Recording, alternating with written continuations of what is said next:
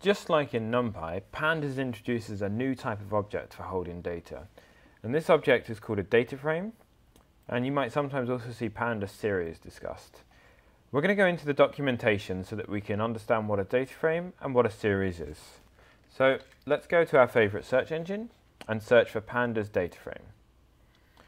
And the first non-ad that we see is pandas.dataframe in the pandas documentation.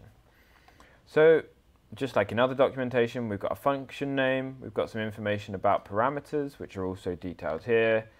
And in our case, we don't have a return, but normally there'd be information about a return. We've got some see also and some examples, just like in NumPy. So what's a data frame? Well, it's a two-dimensional heterogeneous tabular data structure. What does that really mean? So two-dimensional, hopefully that's kind of clear. Think about spreadsheets in something like Excel. And heterogeneous tabular data structure, again, think about like a data of results. Not every column is going to have the same type. You might have a string in one column, a date time in another column, and a number in another column. In a NumPy array, everything has to be the same data type, but in a data frame, they can be different for different columns. The other key thing is that the axes, the rows and columns, they're all labeled.